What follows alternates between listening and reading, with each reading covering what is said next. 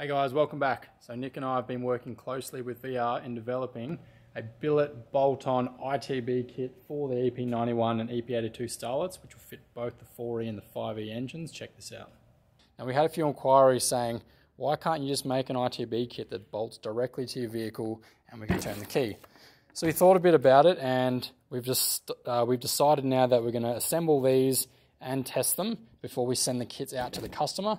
So literally you'll be able to bolt this straight on your vehicle, put one of our vacuum blocks on there, get some vacuum hose, put it all on, put your TPS on, turn the key, and it'll just work.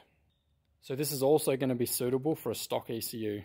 So before we put the ITBs on, I want to go for a quick drive and see what the stock intake sounds like.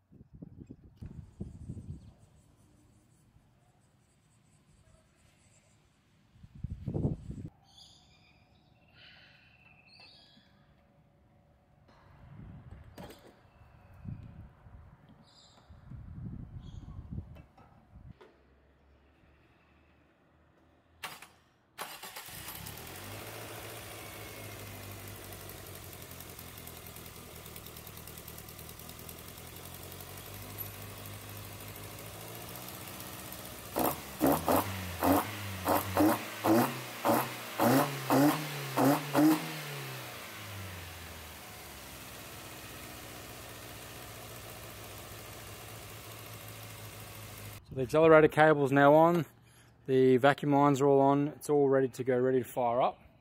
I'm not going to lie, but I've already had this running and I've encountered a problem straight away. One of the throttle flaps are not sealing properly.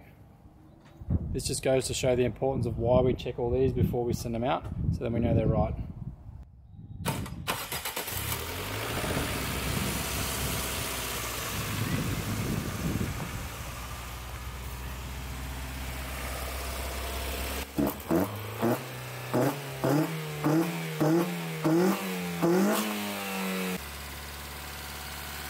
Cylinders three and four are not sealing properly. The block number four, number three is blocked. The auto quality is pretty good. So that's not the end of the world. We can put a different size flap in there and fix that up. That's no worries. But let's go for a strap. It'd be rude not to.